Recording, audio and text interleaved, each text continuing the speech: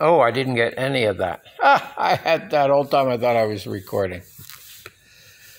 All right, so it's time for a book. The And Olivia. Bed book by Sandra Boynton. Oh, this is going to be a favorite. The sun has set not long ago. Now everybody goes below to take a bath in one big tub with soap all over. Scrub, scrub, scrub. And they hang their towels on the wall and find pajamas big and small. With some on top and some beneath, they brush and brush and brush their teeth.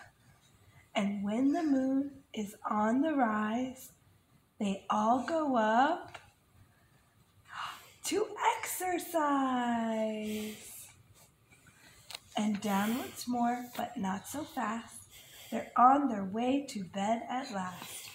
The day is done, and they say good night. Somebody turns off the light. The moon is high, the sea is deep. They rock and rock and rock to sleep. The end. Yay!